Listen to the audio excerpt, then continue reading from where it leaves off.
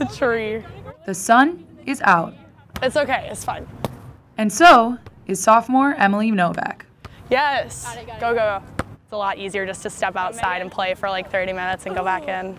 At first, I wasn't sure just because it's kind of like a weird like shape to build the pathways, but now I'm kind of liking it since it's warm outside.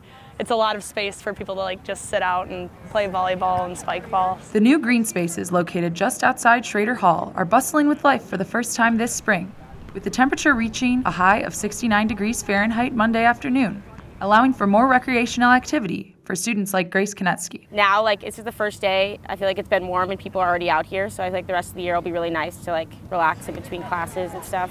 And it gives, I feel like it'll help the Schroeder community get us to know each other more, too. And for Emily Novak, new Marquette friendships are already developing. I'm not super close with Danny, but um, she just asked if she could join, and of course he said yes, because the more people that play, the easier it is.